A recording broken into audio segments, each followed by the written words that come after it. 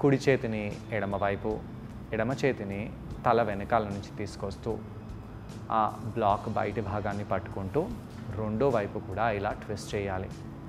ఇలా ట్విస్టెడ్ ఆసనాలు చేసినప్పుడు పొట్టలో ఉండే కండరాలపై ప్రభావం పడుతుంది. ప్యాంక్రియాస్ లివర్పై ప్రభావం పడుతుంది.